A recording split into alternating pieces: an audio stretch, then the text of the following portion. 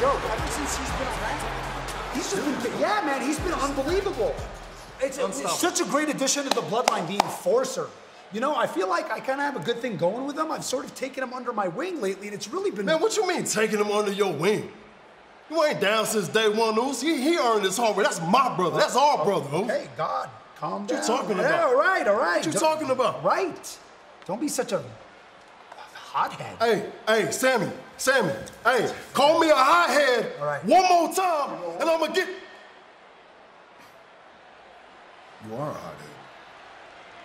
You've always been a hothead. Well, I didn't mean a hothead. No, no.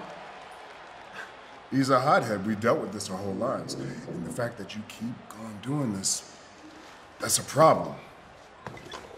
And it's been our problem our whole lives. I don't want it to be my problem. So it's not going to be my problem anymore.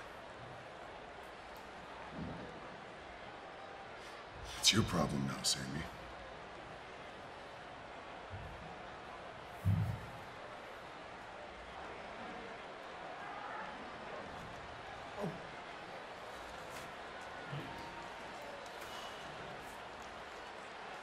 Okay.